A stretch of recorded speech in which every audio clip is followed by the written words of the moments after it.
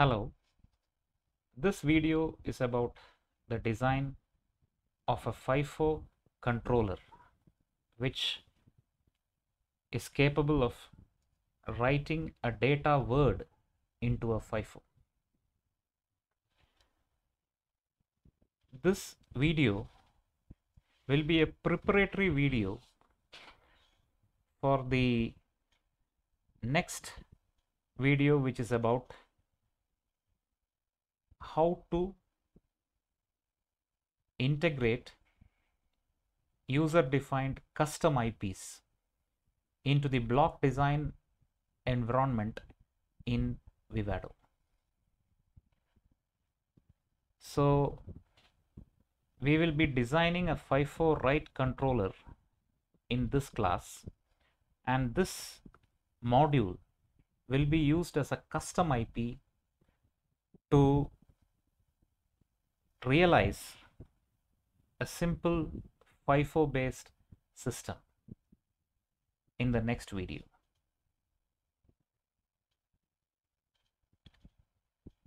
So in this session we will be designing a FIFO write controller which is triggered by a host and on receiving the trigger will write a single data word into the FIFO.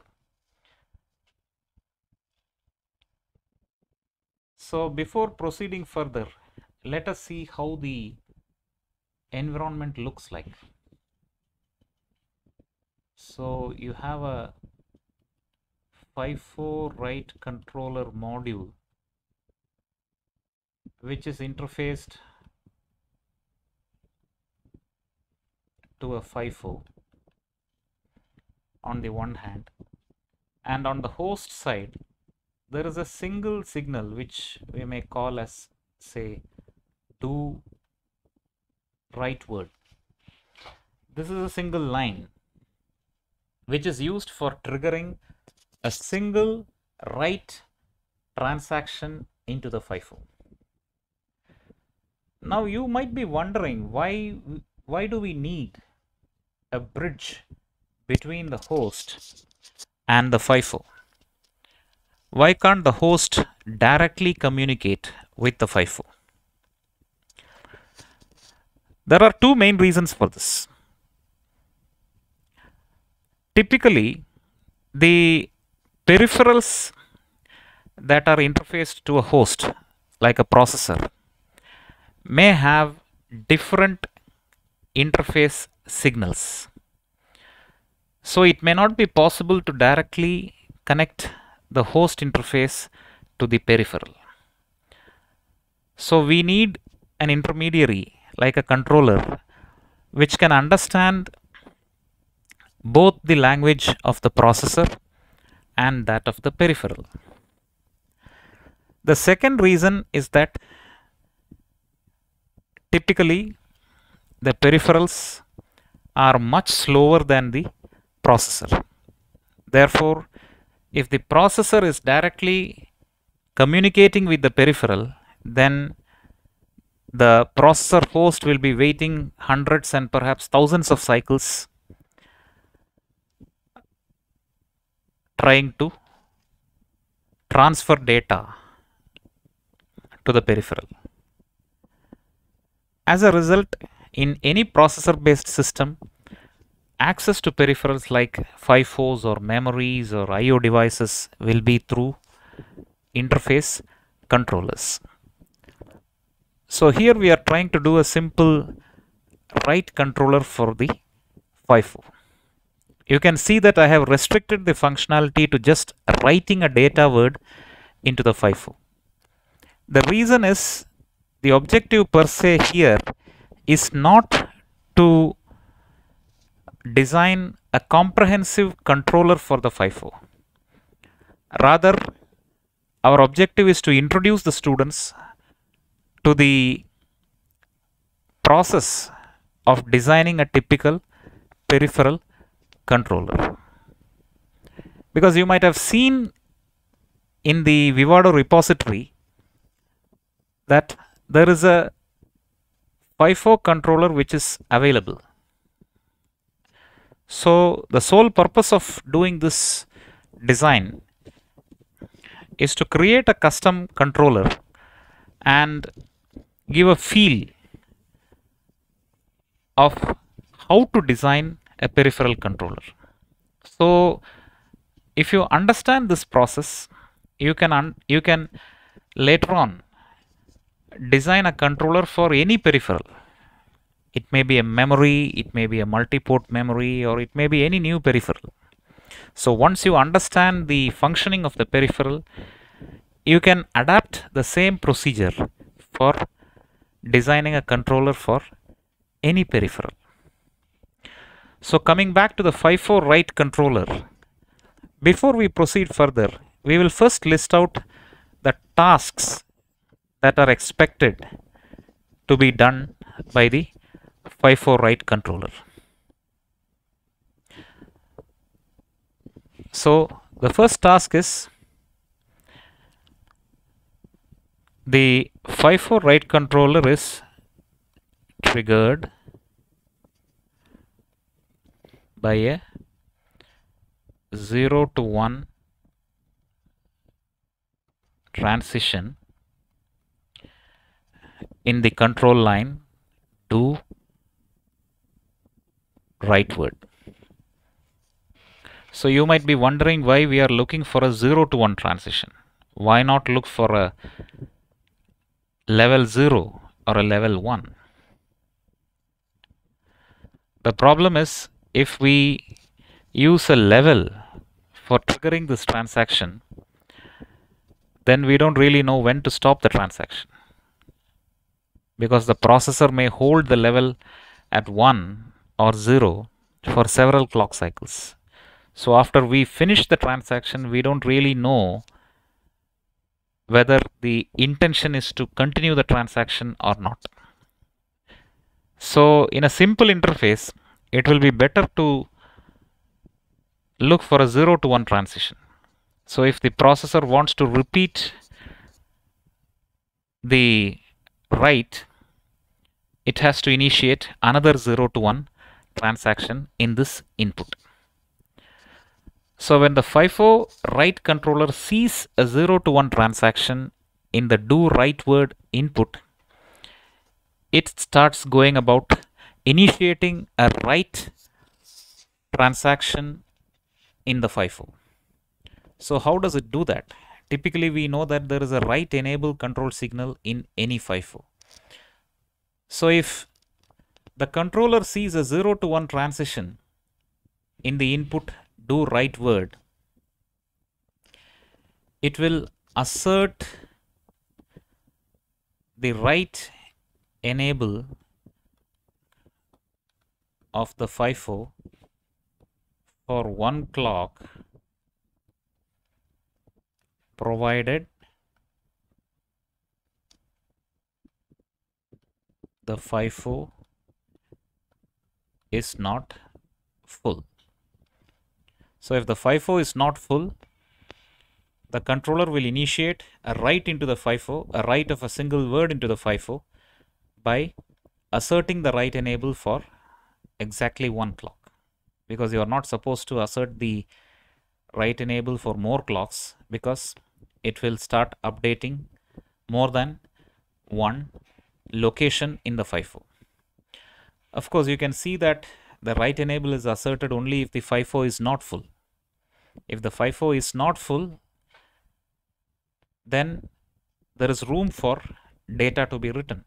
If the FIFO is full, then the write cannot take place and this is again intimated to the processor by means of another status signal which we may call as write error.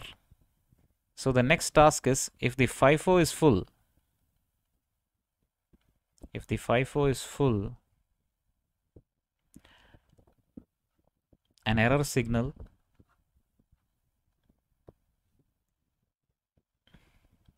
an error signal is asserted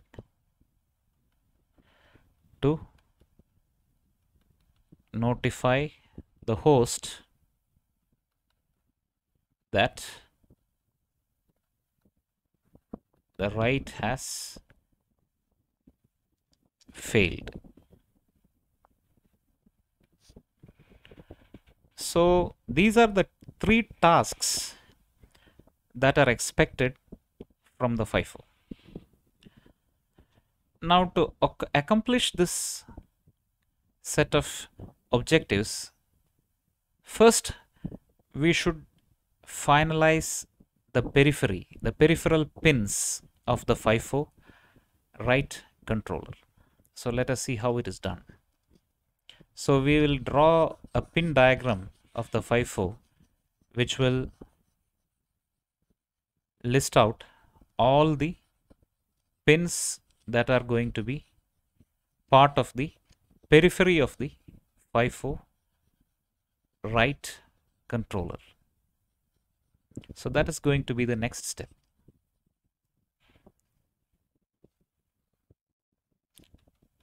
So we have the FIFO write controller which is triggered by the do write word input. Then of course we have the system reset and the system clock. And for initiating the write transaction into the FIFO, the controller also has to monitor the full status signal of the FIFO. Because without knowing the full status, the controller cannot initiate a write into the FIFO. And there are going to be two outputs. One is of course the write enable which will be connected to the write enable of the FIFO and there will be one more output which is a status output called write error. This will be interfaced to the host.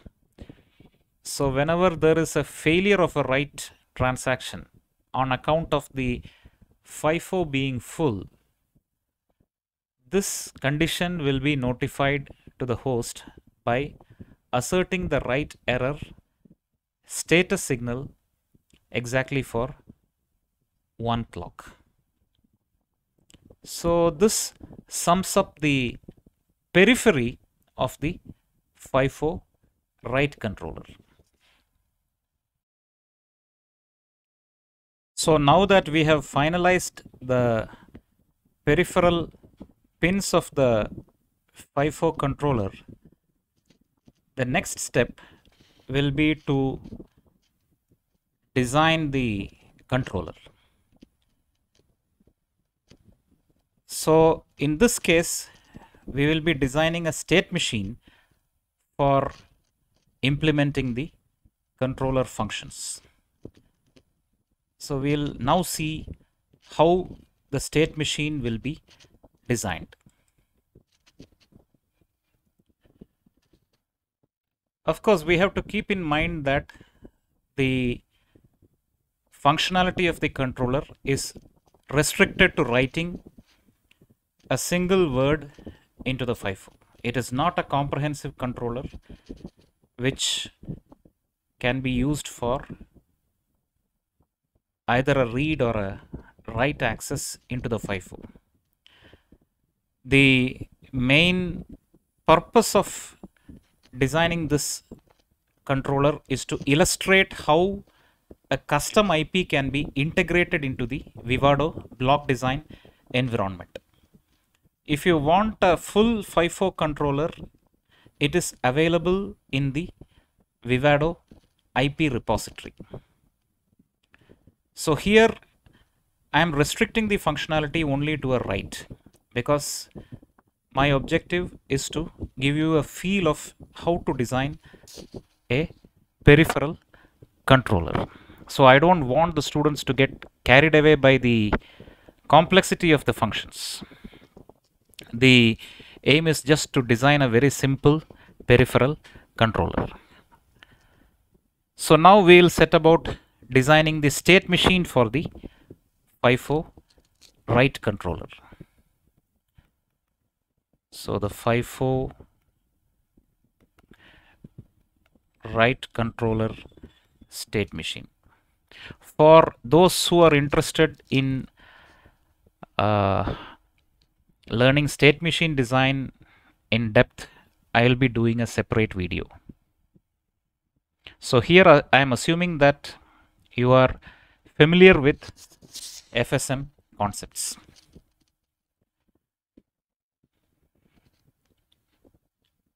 so we will keep in mind the functionality that is expected from the controller which we have listed out earlier that is the module has to monitor a control input do underscore write word and whenever there is a 0 to 1 transition in this particular input it has to initiate a write operation into the FIFO provided the FIFO is not full.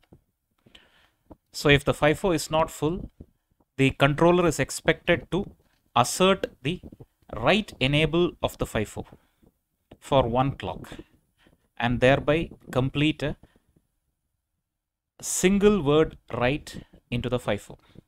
If the FIFO is full, the controller is expected to exit the transaction by asserting an error output for exactly one clock period. So there are two outputs involved in this transaction. One is the write enable output, which will be asserted for exactly one clock if a valid write is possible. If the FIFO is full and a write is not possible, the transaction will be completed by asserting the error output. Now keeping these steps in mind, and also keeping in mind the periphery, the peripheral pins of the FIFO, we will try to design the state machine that will realize the functionality of the controller. So we will now do an ASM chart. We will start with the default state which we will designate as idle.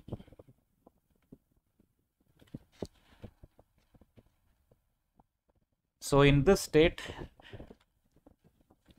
we have to assign the default values for the outputs. There are two outputs here.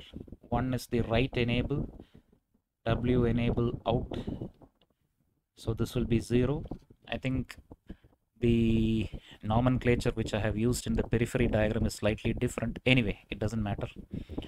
And uh, the second output, which is the error output, also is assigned its reset value which is 0. So this is the default idle state of the controller. Now when does this controller move out of this idle state? So this will be determined by the control input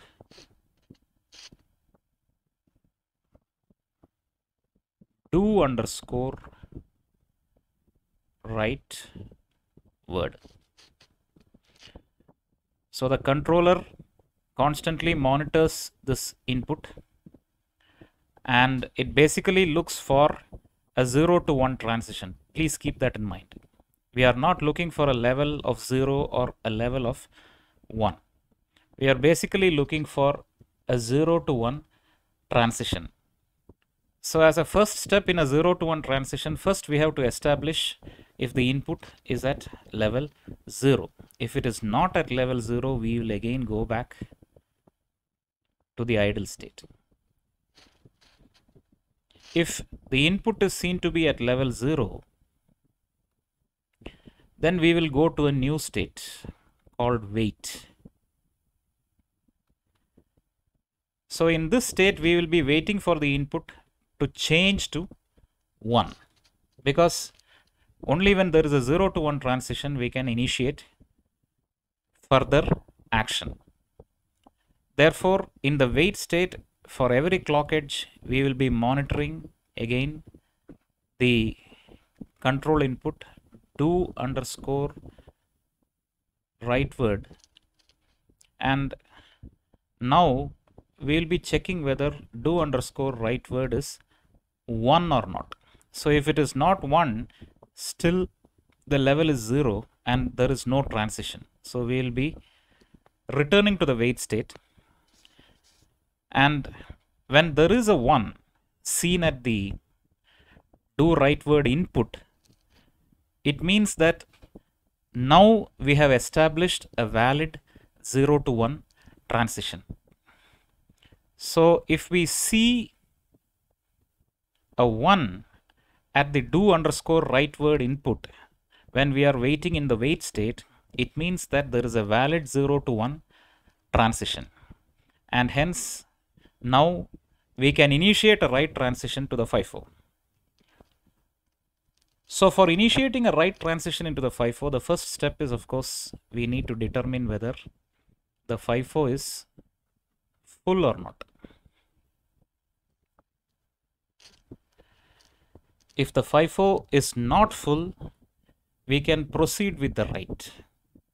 So if the result of this decision box is a no, we can proceed with the write operation. So how do we do that?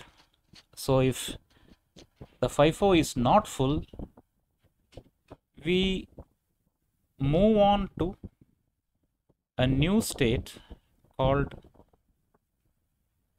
write enable WEN. In this state, please remember that we have to assert the output wl underscore w enable wen underscore out. This output has to be asserted. So when we assert the output we will be triggering a write into the FIFO. We will remain in this state exactly for one clock. That means we will return from this state we will return from this state unconditionally. We will return from this state unconditionally, which will ensure that the state machine remains in this state exactly for one clock. So where should you move from this state? So from this state, we have to move again to the checking of the do word input because there may be another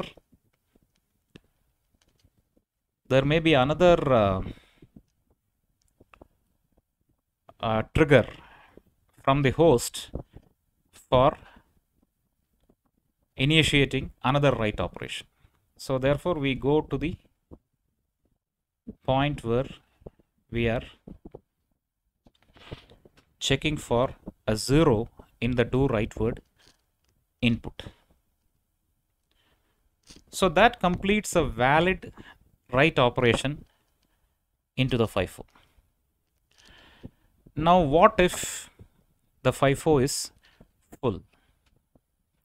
So we go to a different branch. If the FIFO is full, we go to a different branch that is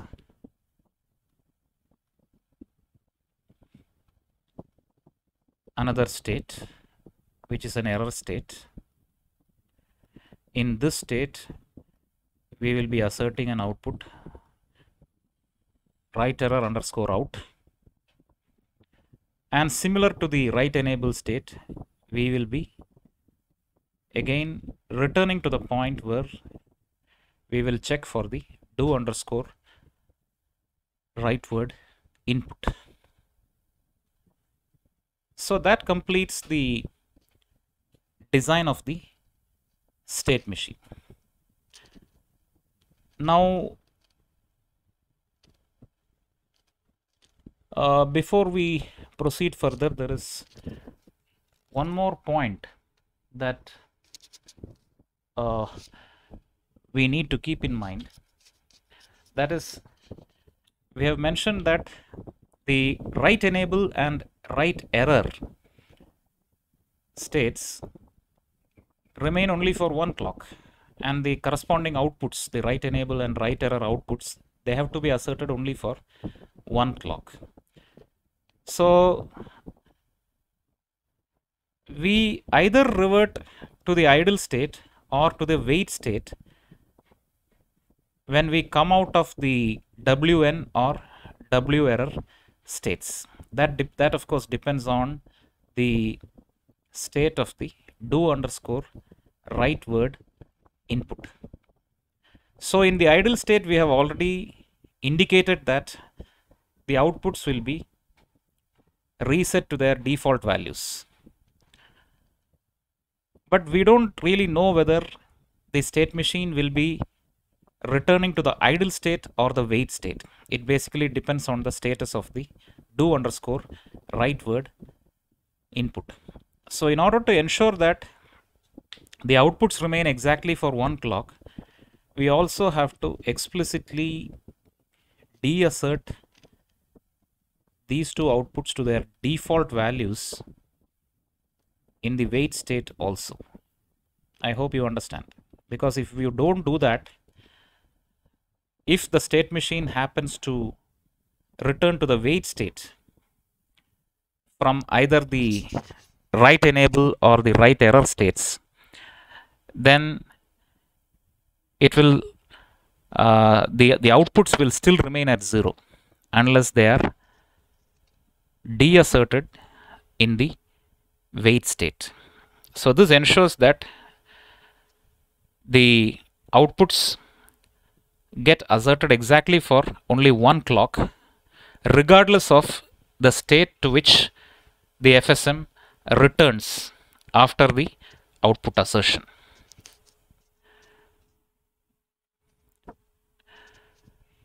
So now we are done with the design of the state machine. So you can see that it's a very simple state machine since we have restricted the functionality to a, just a single write uh, we have been able to keep the state machine very simple. So there are uh, four states. Therefore we will be requiring uh, two bits for encoding these states. The next step will be to model this state machine in Verilog. So we will be modeling this FSM as a Moore machine.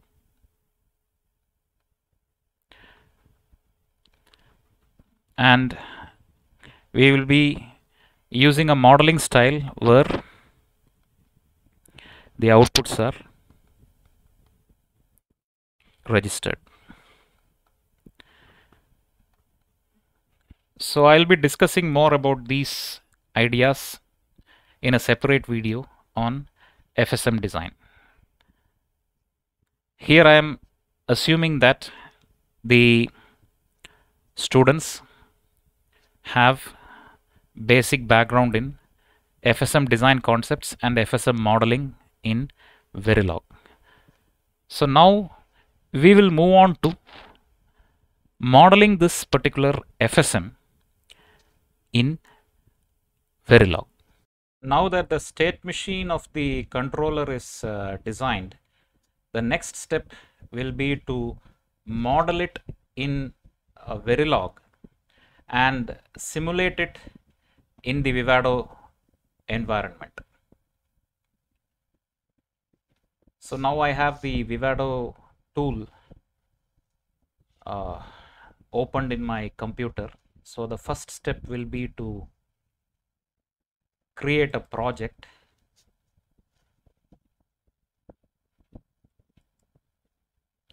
So we will give the we will assign some meaningful name to the project. Say vivado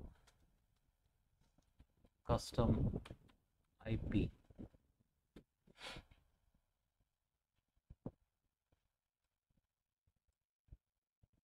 and uh, since we are going to create an RTL code we will retain the same selection of the project type.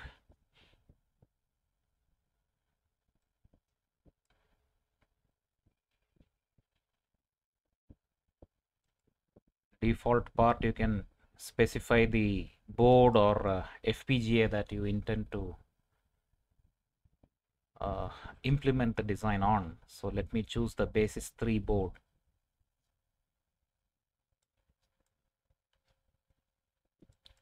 So that finishes uh, creation of the new project.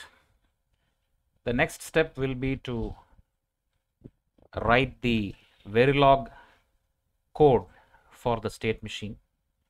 So for, for that, we have to first create the source file. We can use the add sources option. You just right click in the project manager window and you will get the add sources option. So we can choose the add or create design sources. Since we are creating a new file, we have to choose the create file option. So I am giving the name FIFO write controller FIFO WR CT LR FIFO WR underscore CT LR it's a Verilog file that I am I propose to create.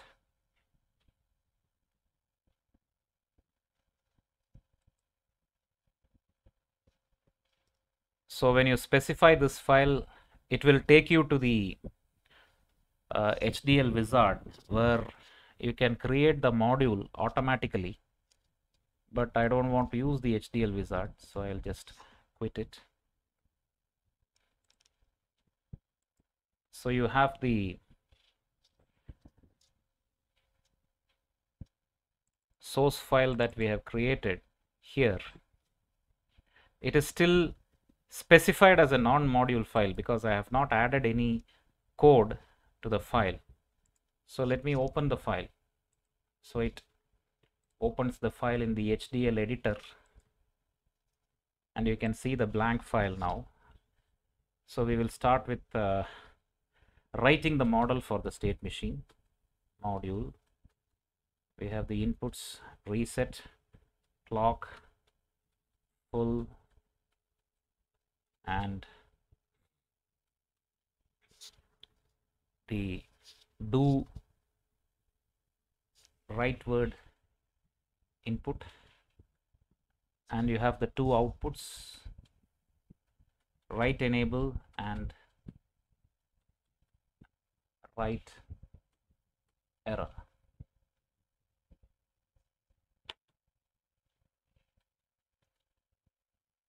So the inputs are going to be clock, reset,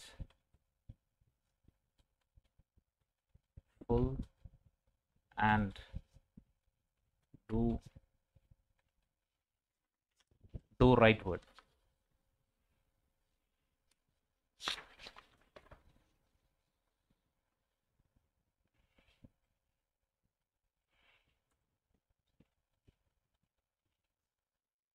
And the output pins are W enable out and uh, W error out.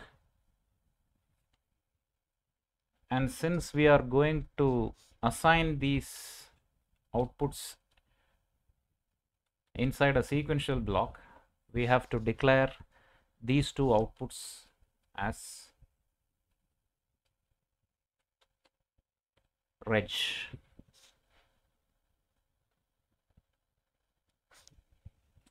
and uh, we need two variables for holding the next state and present state information. So these variables are respectively declared as ps and ns for present state and next state. So when we designed the state machine we saw that it is having four states. Therefore we need two variables for encoding the states. So we are done with the declarative part. Now we will start the actual uh, state machine itself. So as you know, there will be two parts for the state machine. There will be a sequential part, which is controlled by the clock and reset. And there will be a combinational part, which will determine the next state. So first we'll do the sequential part.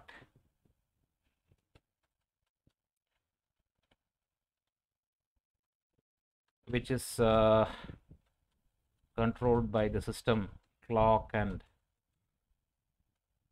system reset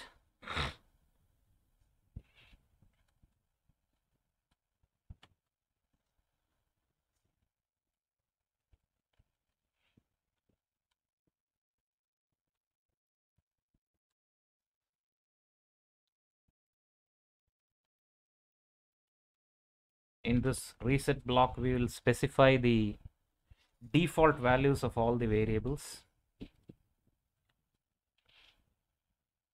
So the present state will be idle and we are assuming that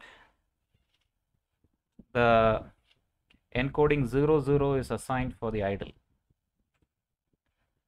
So maybe we can put a comment here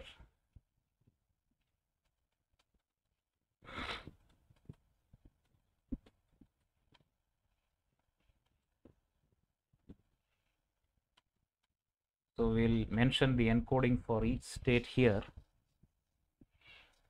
For wait, the encoding is 1.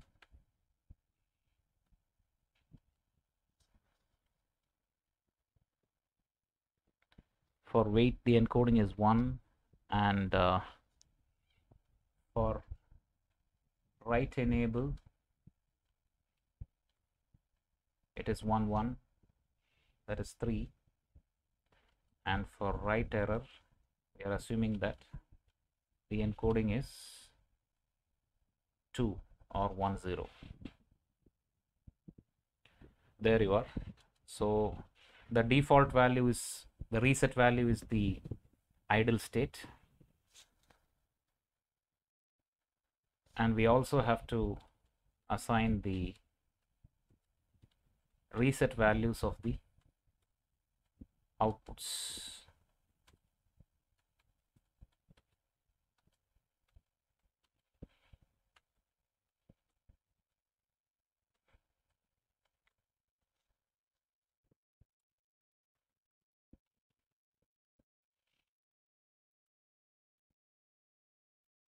Next we will go to the block part of this block.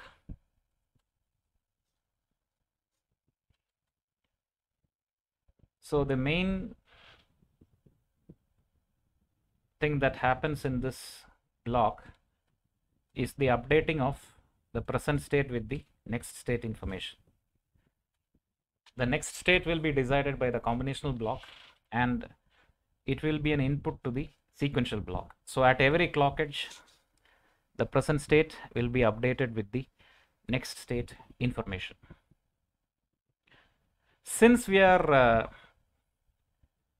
uh, modeling the state machine with registered outputs, the output or the outputs are also assigned here.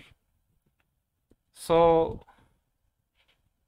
we know that the write enable output is assigned when we go to the WEN state which means if the next state is equal to WEN that is encoded as 2 bit 1 1 then we will be asserting the write enable output.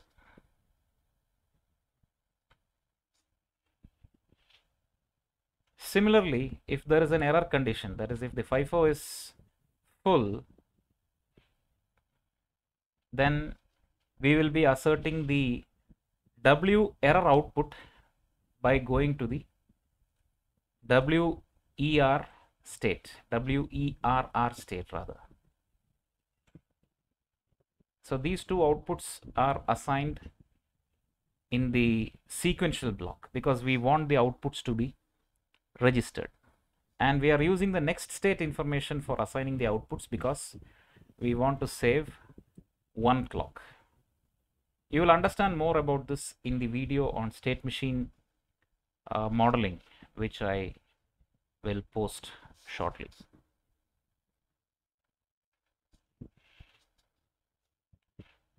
We are still not done. There is one more task that is left. We saw that while we while modeling the state machine, we saw that uh, when the outputs are asserted, either the W enable or the W error, when we come out of the state, we will either revert to the idle state or to the wait state. So we have to ensure that these outputs are deasserted when the state machine enters these states. Of course, when the state machine enters the idle state, uh, of course, we have to explicitly deassert the output in, in both these cases. Yes. So before completing this block, we will have to do this assignment also. That is, if the next state happens to be either idle, which is 0, 0, or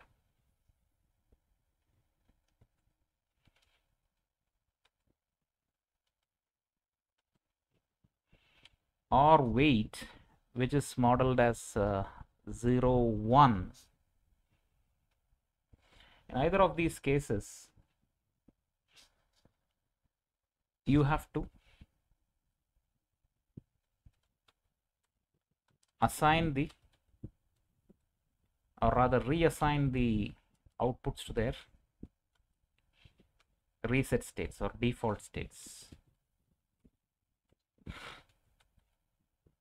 This is very important because we want either of these outputs to get asserted only for a single clock, especially the write enable because if the write enable is not deasserted after the WEN state is exited, then this particular output will remain asserted for more than one clock and this will result in more than one write transaction to the FIFO which is not what is intended.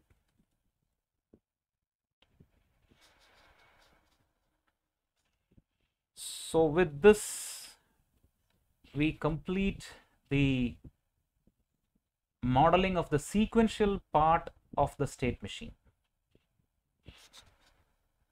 of course when whenever you are modeling all these blocks ensure that the ifs are properly enclosed with begin and end. And also the always blocks.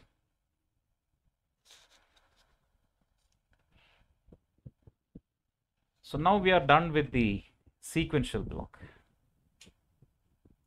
The next step is to specify the state changes according to the inputs for various present states and this is done by the next state block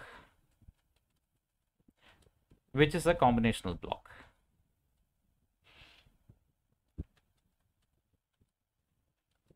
So since the next state block is a combinational block, we have to ensure that all the inputs of this block are part of the sensitivity list.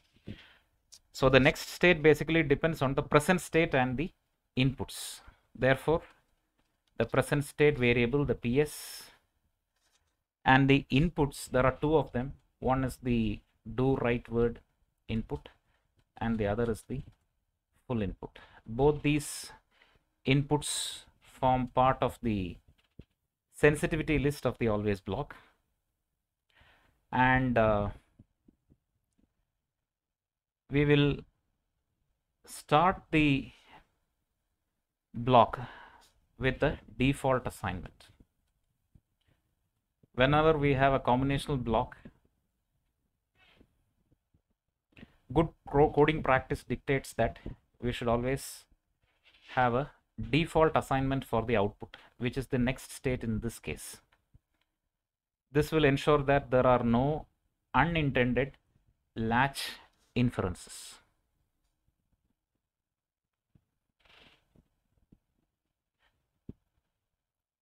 So next we will go on to the next state specification for various uh, present states.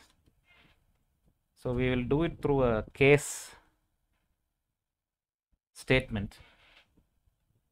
So first we specify the case where the present state is idle. So when the present state is idle, we move out of the state we move out of the idle state based on the do write word input. If this input is 0 the next state becomes the wait state which is modeled as 0 1 that's it. So this corresponds to the next state coding for state variable idle. So you can notice one point here. I am not specifying the else condition for this particular branch. I don't need to because i have always i have already given a default assignment. So that even if i don't specify the else branch of the subsequent if statements or subsequent branching statements, there is not going to be any unintended latch inference.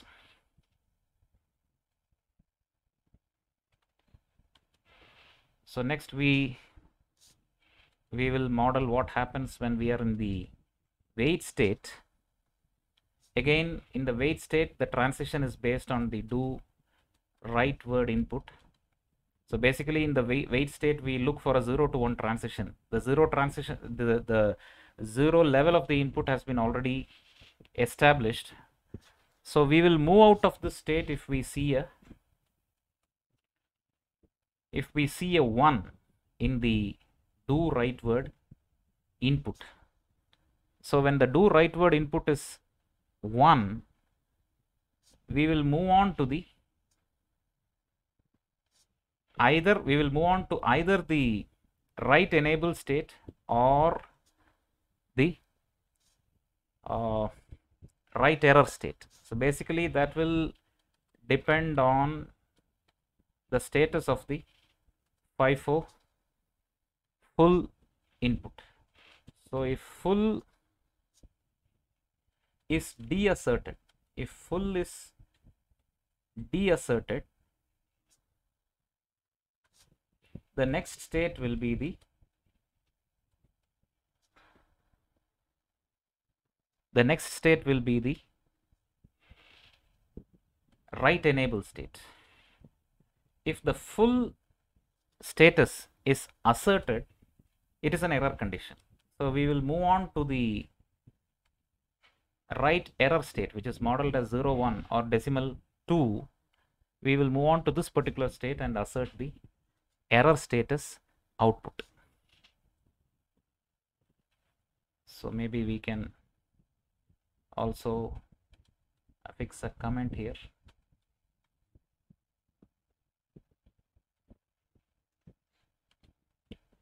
Next state is either W enable or W error depending on full status.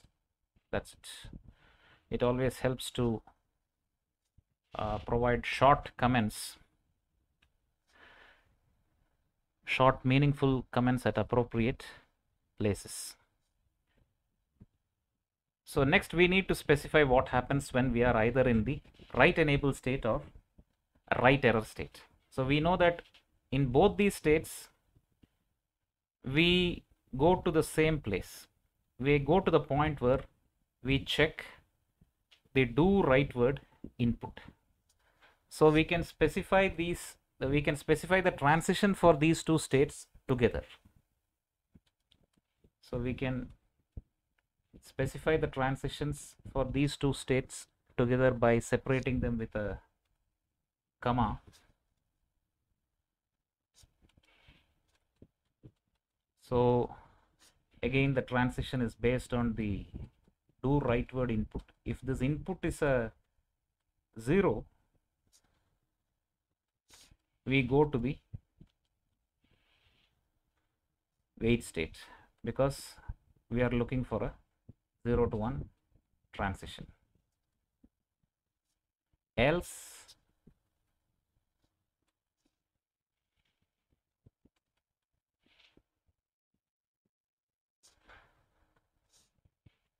else we will go to the idle state. Else we will go to the idle state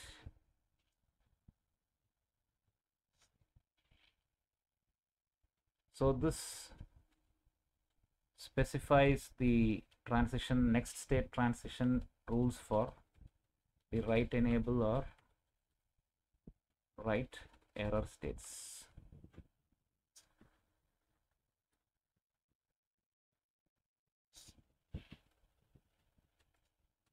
And uh, the default even though it is already specified we'll specify it again because some of the compilers they insist on a default branch for the case statement. So we are done with the next state specification. We'll close the combinational next state decoder module and the state machine. There we are. So we are done with the state machine for the FIFO controller. Now let us see whether there are any issues with the compiler. So we'll go to the project manager uh, window. Oh yes. There are some syntax errors let me see what they are.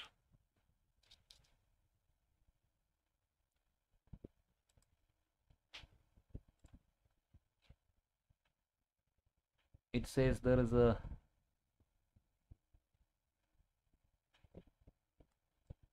syntax error near line 1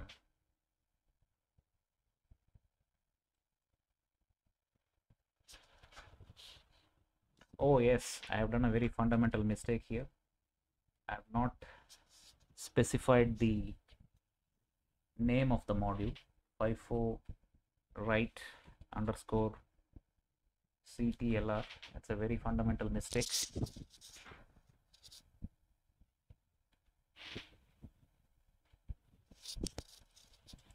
Okay. This error has been fixed. I think we are still not clear there are some more errors. Let us see what they are. There is another syntax error in uh, near line 14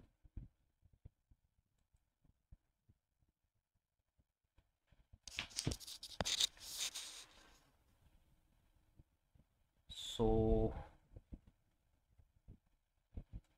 yeah. I have not included uh, I have not put two equal symbols inside the if condition.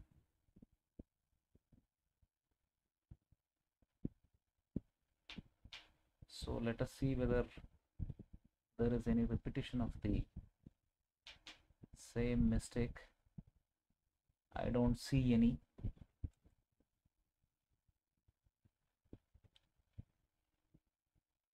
so some more errors.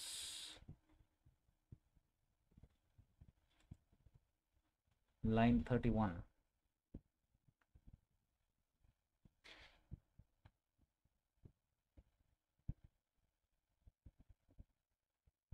yes I have omitted to put a semicolon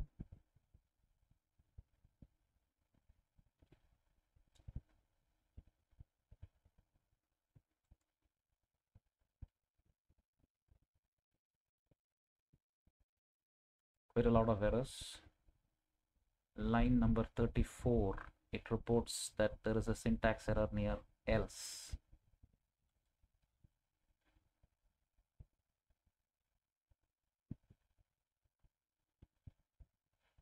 Again the issue is with the semicolon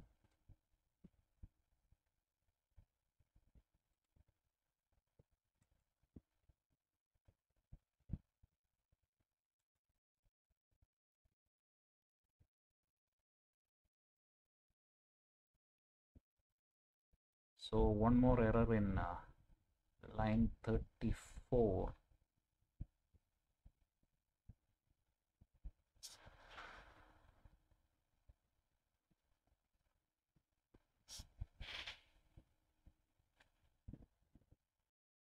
yes the error was due to not properly closing this particular branch here.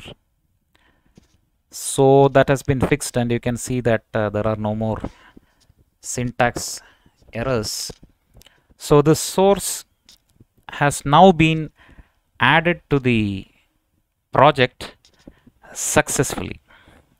Now what remains is to write a test bench and simulate the module to verify its functionality. So for simulating the module, we will write a test bench and add the test bench to the project as a simulation source and use the built-in simulator in Vivado for simulating the module and verifying the functionality. Therefore, we will see how we can write a test bench for uh, verifying this particular module. So now that the controller FSM has been coded and uh, added successfully to the project, the next step will be to verify the functionality of this FSM. So for that, we have to write a test bench for verifying this particular state machine. So for verifying a design in Vivado, we will have to add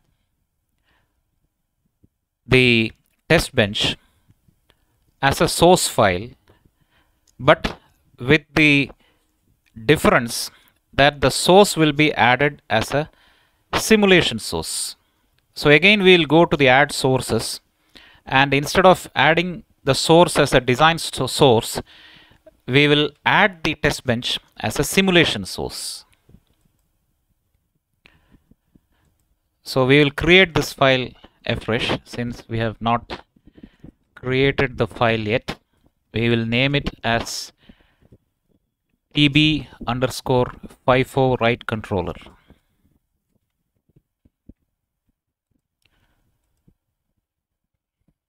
So again we will bypass the HDL wizard and we will directly move on to the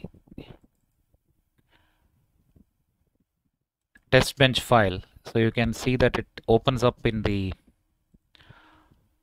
uh, project window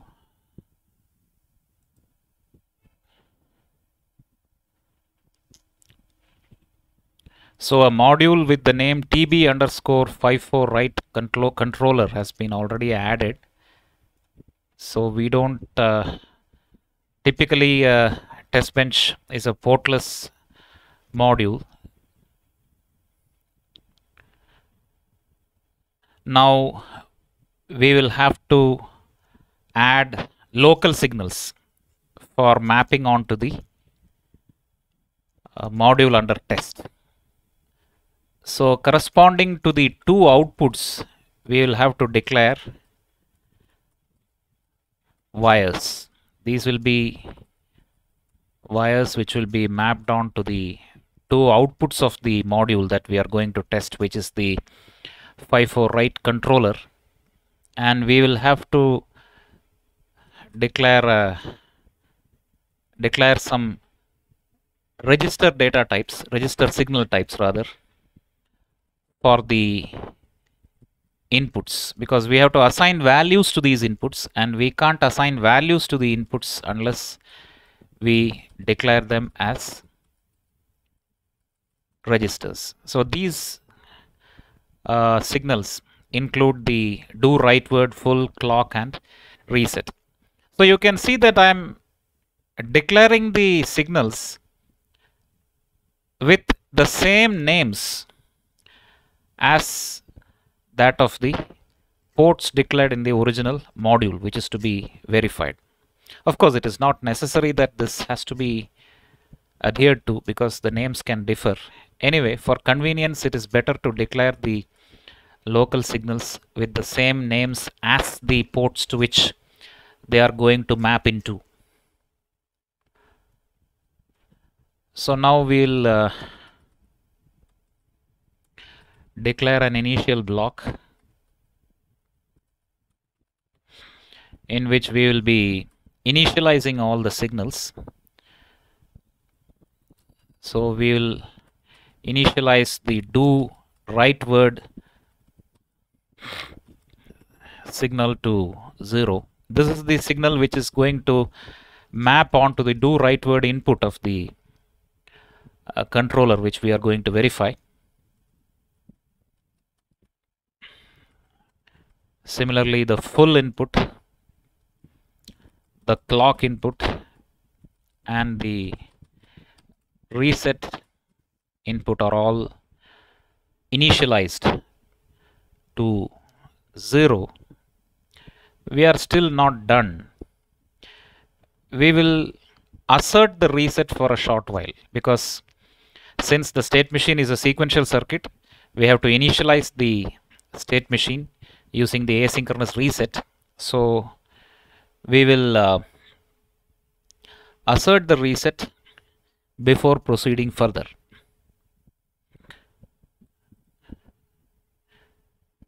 So after a delay of 5 time units maybe we can assert the reset. And again at 15 time units or after a delay of again after a delay of uh, 10 time units we can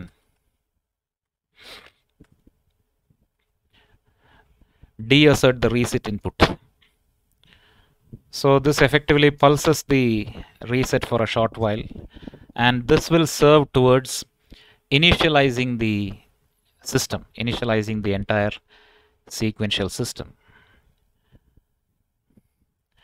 The next part of the test bench will be the clock generation part.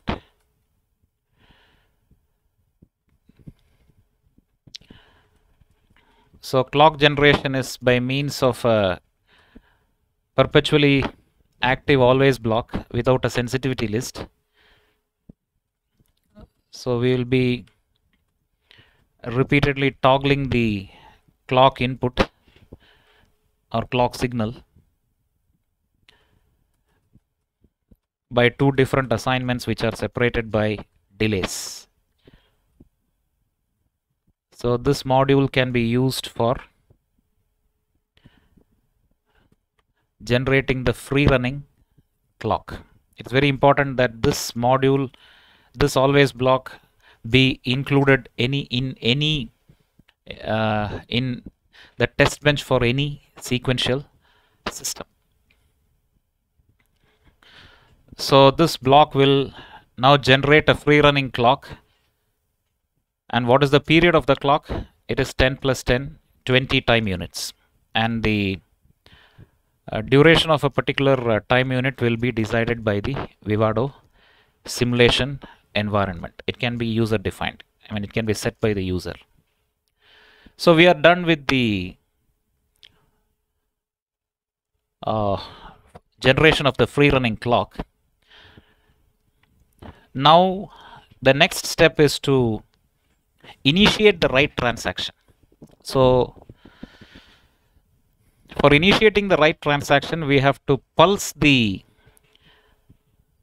uh, write word, do write word input for exactly one clock. Suppose we want to initiate the write for one clock, we will have to pulse the do write word input for one clock. And please remember that whenever we are verifying sequential circuits, all the inputs, unless they are asynchronous, all the inputs are assumed to be synchronous. So in the test bench also, we have to assign them synchronized to the system clock. So already we have generated a free running clock by means of the always block. Now we will be assigning the uh, write word input, do write word input also under a block, always block, which is controlled by the same clock. unless we do this, if we assign the inputs under the initial block, then we will get erroneous results which are not consistent with the behavior that is expected from a sequential block. So this has to be always kept in mind while writing test benches for verifying sequential systems. So here just to time the generation of the do write word signal, I am just going to keep count of the number of clocks. Therefore, I am going to declare an integer by the name count. This is just for keeping track of the number of clocks. It doesn't serve any other purpose. So I am going to increment this count unconditionally at every clock. And basically what I am going to do is I am waiting for some interval, some number of clocks, let us say 10 clocks. And uh, after this interval has elapsed, I am going to assert the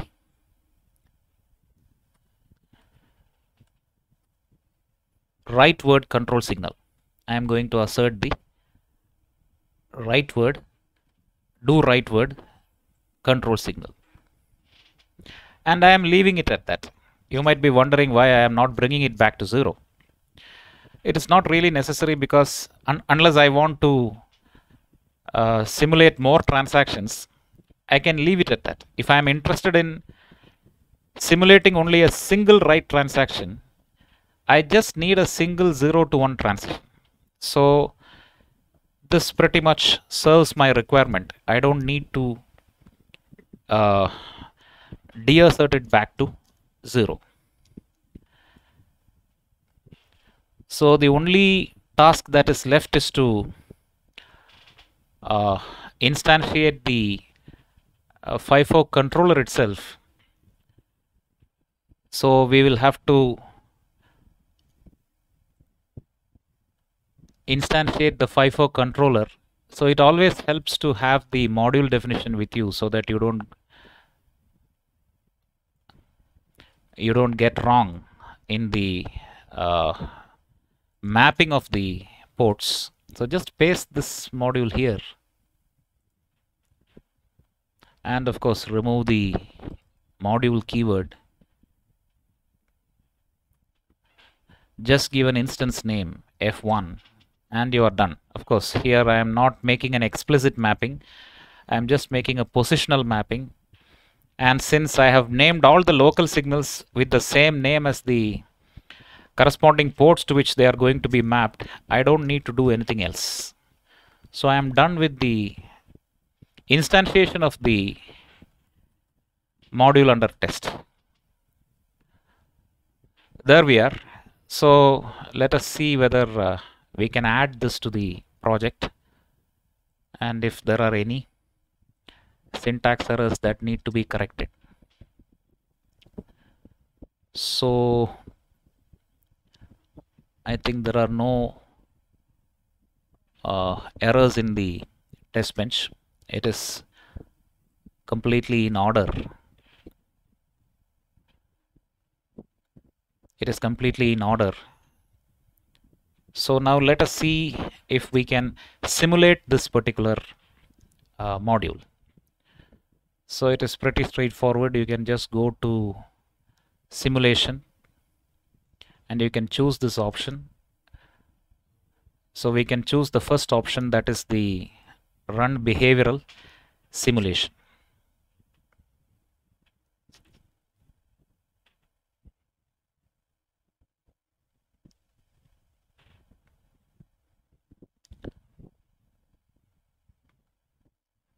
So we have the waveforms here. Let us take a look. Let us take a closer look so that we can make sense out of what is happening.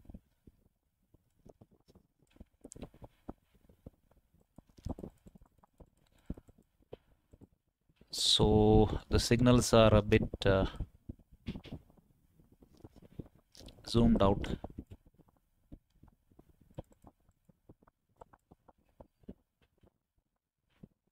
Yes maybe I'll just uh, okay. So you can see that uh, the do word input is undergoing a 0 to 1 transition at this point. After the first few clocks uh, this transition is seen here. And the state machine senses this transition at the next clock and it toggles the write enable out signal for exactly one clock. So that is the behavior that is expected from the controller. And of course, the write enable is asserted only if the full input is deasserted. So as far as the valid write operation is concerned, we can see that the FIFO is behaving, the FIFO controller is behaving along expected lines. Of course, now what happens if the FIFO is full? So for verifying that again we need to change the uh, test bench. We'll go back to the test bench, just make a small tweak and we can also verify the uh, case where the FIFO is full. Just go here, initialize the FIFO to full instead of uh, not full. You initialize the FIFO to full and you are done. So again let us simulate the uh, design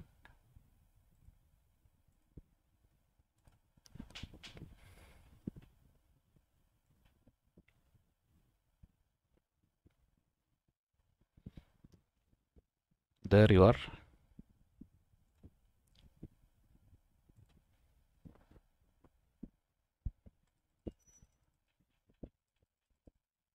so let us uh, see how things are changing now. You still have the same uh, request the write request do underscore write word. But now you can see that the w enable out is not active it is deasserted throughout the entire simulation and uh, when the write word is seen the state machine checks for the full status which is asserted and therefore it exits the transaction by asserting the w error out status output. So we have verified both the basic functionalities of the uh, controller that is initiating a write transaction if the FIFO is not full and uh, exiting the operation with a error status if the FIFO is full. So both the functionalities have been verified by this particular uh, uh, test bench. Of course, you can uh,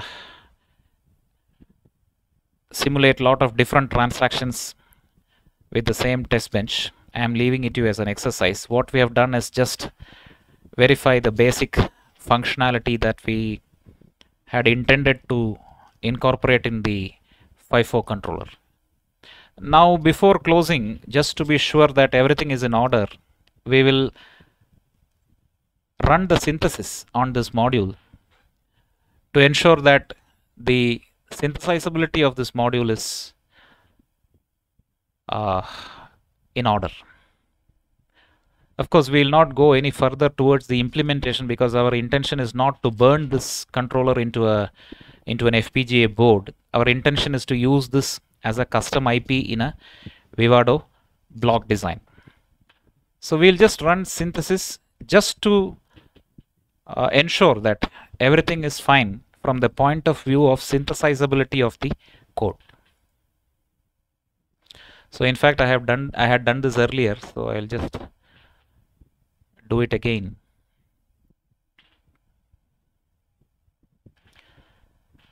So once the synthesis is complete, this particular controller module is ready to be used as a custom IP in a Vivado block design.